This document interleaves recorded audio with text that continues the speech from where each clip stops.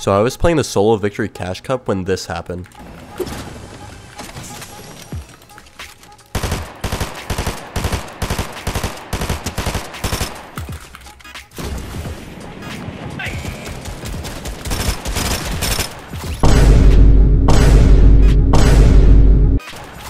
What?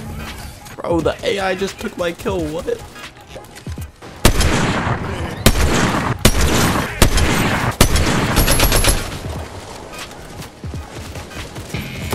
What?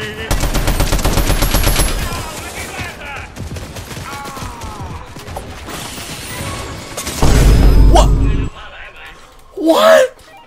What? What? What? Those AIs are full aimbotting. They are full rage hacking.